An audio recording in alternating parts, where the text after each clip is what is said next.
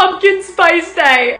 One thing you need to know about me is that I love fall, okay? Not just like like, like I have an obsession. It's very bad. Leave for season, but we need to run to Starbucks right now. Literally running. oh my god. I cannot explain my excitement right now. Found some crunchy leaves to get in the fall mood.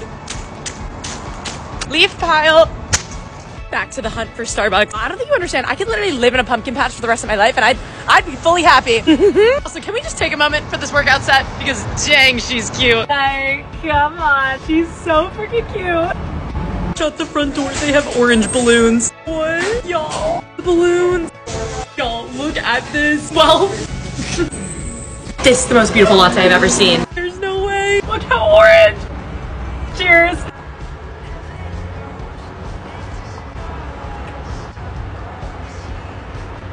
Oh my god.